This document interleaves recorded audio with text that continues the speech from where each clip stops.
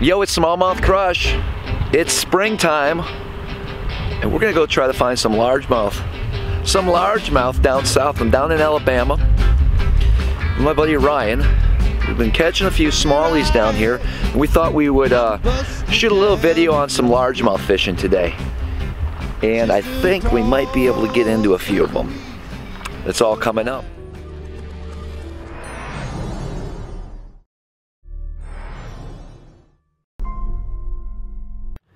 So early afternoon, temperatures are, are awesome. You know, I, it's been pretty cold up where I live.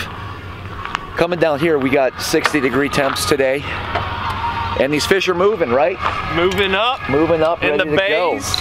Chat, trap and chatterbait. What you got there, oil? Got some oil, mercury. Who uses oil anymore? I don't have a four stroke. Oh, you will soon, bro. Thank you. Keep the faith. But I think we're in trouble. He had to go to the store to buy these two uh, lipless crankbaits.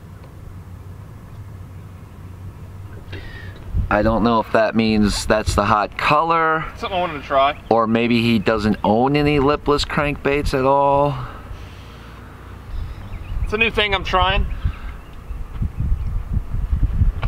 What, learning how to throw a lipless crankbait? Yeah. I want to get better at it, you know? Yeah, it's, it's pretty hard. No, it's awesome, and we're gonna teach you guys how to catch massive bags of largemouth bass in the early spring on lipless crankbaits today. Maybe if we get lucky, a smallmouth. Oh, all right.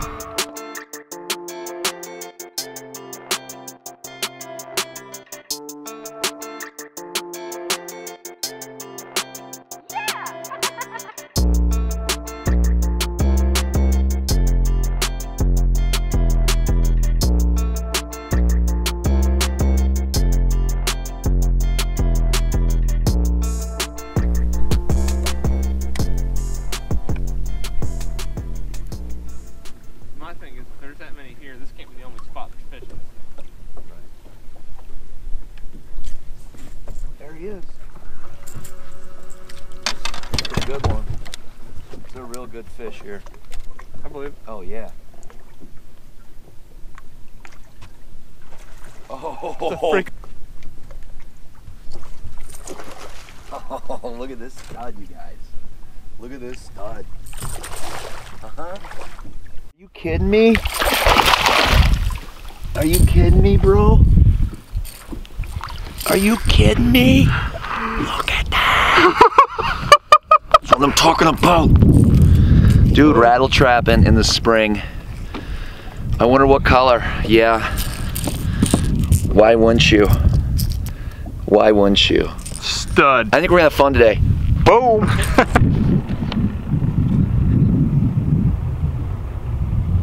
so this guy was staring at us catching those fish and uh, because he had a rubber neck he beached his boat pretty bad so he may expect us to come over and save him now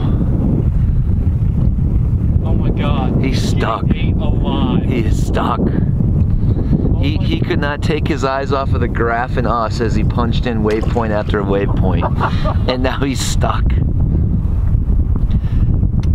Oh my god. We're gonna have to confront him if he, if if he's gonna want our help getting that boat off. We're gonna have to interview him. Yeah. All right, so so talk to me. We uh, th thrown lipless. Yep. You decided to go back to the uh, True Bass swim bait. Yeah, we were throwing a lipless and it just so shallow, and we got some really good reaction bites right off the bat. I mean, and you could tell there was more fish in there because you hooked one and lost one, and we just we quit getting bites. So a really stealthy way to sneak up on those fish, and we saw actually shad flicking. So I went and got that belly weighted owner Sure. beast hook, same bait we were using at the dam for smallmouth, and it didn't take long. Got a bump, power pulled down, made the same cast. He actually hit it two or three times. I'm pretty sure there's pods of fish chasing bait on this flat. And um, finally hooked up on one, and we lost two more. And um, definitely pretty sneaky little deal. Yes, yes. Throw Throwing behind your rattle traps. Well, let's see if you can get one. Thanks, man.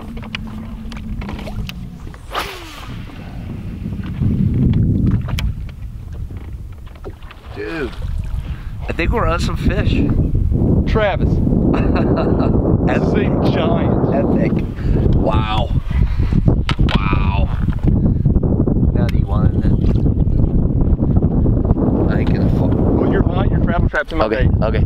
Good. We both got them. Oh, no, your bait's pulling on my I know I'm not pulling. I hate pulling. Yes.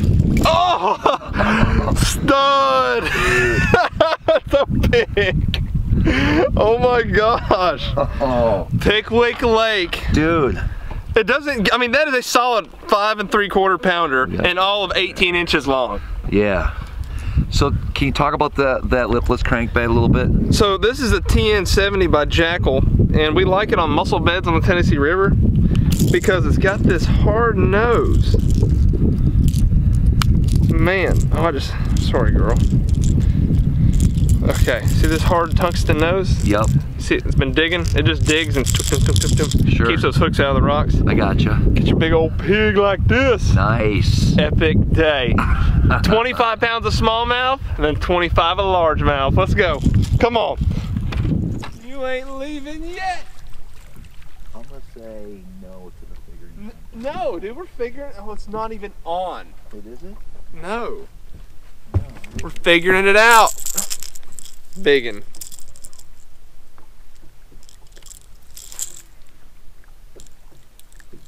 Biggin. Little guy, come on, let go. If I hold him like that, does he look big? No. Yeah, he does. I'm gonna throw him right back out there. That fish interrupted me. The 70s a 5 8 and the 60s a 3 8 And we've thrown both. Yeah, there he is. I saw that. It's a good one, huh? Yeah. It just shows you how effective making the same cast is Sure. over and over again when you know there's a fish there. Yeah. I mean, he's not huge, but it's a fish. He's absolutely a fish. it looks like it's got a big old gut on it. Pre-spawn. Look how fat this fish is. I mean, guys. If And that really- doesn't show you how effective that bait, look how fat that fish is. Yeah, right. Pre-spawn. Really sharp hooks too. Extremely sharp. I mean, when you're tying on the bait, it's going to catch your knuckles. Look right there. It cut me when I was tying on the bait. So you don't really need to exchange the hooks unless you want to do a triple grip for certain situations. Right. now, these fish are kind of slapping at it too. Yep. So I had two slaps that cast, threw back out mm-hmm. there. I mean, that's a two and a quarter pound, 14 inch fish. I mean, it's so fat. Mm-hmm. But if you'll notice, it's got a four and a six on the back hook. If you upgrade them, you can you can do two fours if you're around a lot bigger fish, or you can do a four and a six. Gotcha. But gotcha. it's a TN70. Obviously, it works, guys. Absolutely.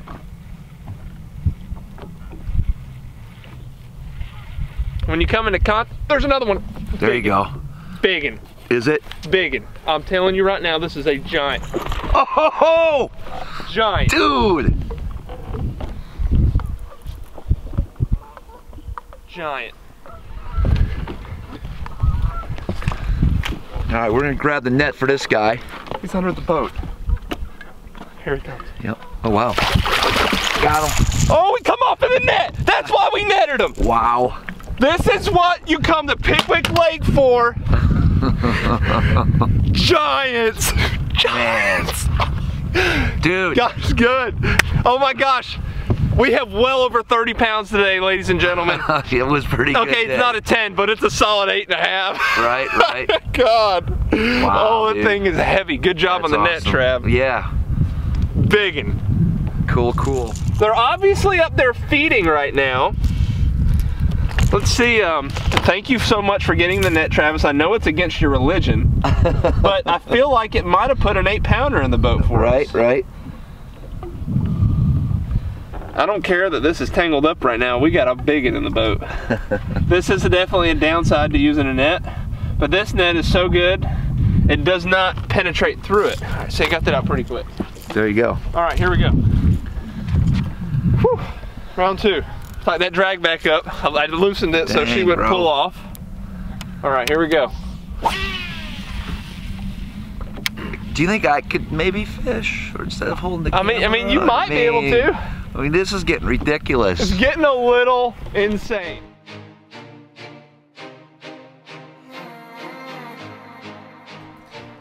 Well, I had a blast fishing with Ryan. Now, Ryan guides full time on the Tennessee rivers from Guntersville to Pickwick and everything in between. I encourage you to check out his website, Alabama Bass Guides. Also, don't forget to follow him on Instagram, AL Bass Guide, as well as his YouTube channel.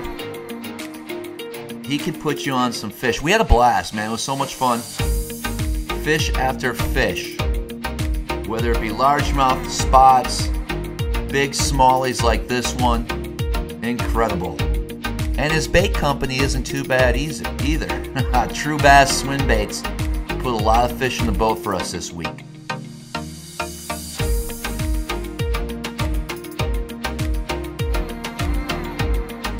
Guys, don't forget to subscribe to my channel. Leave any likes and comments below. Let me know what you thought of our fish catches. What an awesome time. And as always, until next time, we'll see you guys on the water.